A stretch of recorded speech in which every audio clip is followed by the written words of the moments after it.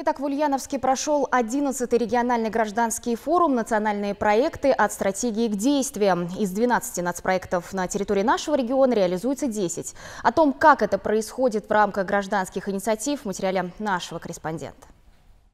Тематические дискуссионные площадки 11-го регионального гражданского форума начали работу в Минцентре. Участники круглых столов обсуждали вопросы общественного контроля в сфере этноконфессиональной политики на территории Ульяновской области, развития ТОСов, а также роль НКО в реализации национальных проектов. Доступность медицинских услуг в маленьких селах, да, она стремится иногда к нулю. То есть люди должны ехать да, за множество километров для того, чтобы получить хотя бы консультацию специалиста. Российский Красный Крест создает пункты здоровья.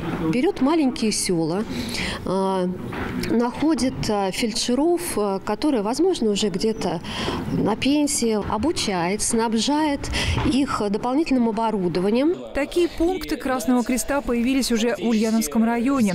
Работа НКО в рамках нацпроекта «Демография» не менее важна. Грант на развитие кикбоксинга в Меликесском районе в 2018 году получила Федерация кикбоксинга этого муниципалитета. Занятие спортом – это прежде всего сохранение здоровья.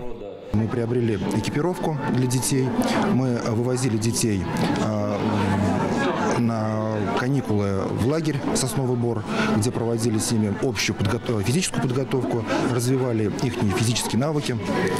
А, также мы а, приглашали а, соседних регионов, также заслуженных мастеров спорта, чемпионов мира, для того, чтобы они преподавали нашим спортсменам. Размер гранта составил 2 миллиона рублей. К слову, 11 лет назад, когда развитие грантовой системы только начиналось, примерно такая сумма выделялась на все гранты из бюджета всех уровней.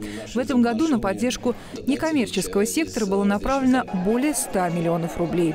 Об этом уже говорили на пленарной части заседания гражданского форума. В конкурсах на получение грантов всероссийского регионального и муниципального уровня приняло участие более 350 некоммерческих организаций. А это говорит о простом.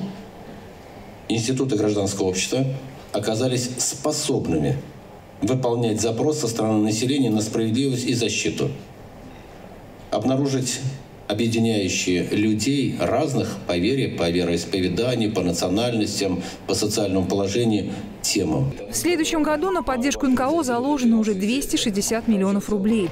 Лучших представителей данной отрасли, которые успешно реализовали гранты ранее, на пленарном заседании наградили благодарственными письмами. Среди них был и Равиль Сальхов, вице-президент Димитровградской общественной организации Федерации кикбоксинга. Элла Шахова, Денис Миронов, Вести Ульяновск.